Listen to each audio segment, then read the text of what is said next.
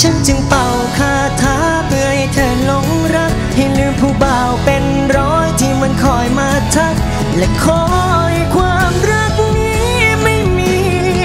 เสื่อมคลายโอ้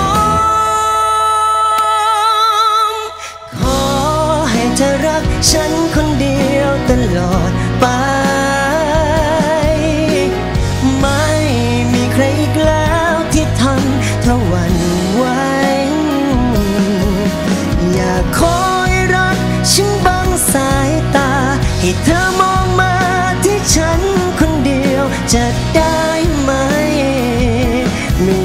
เ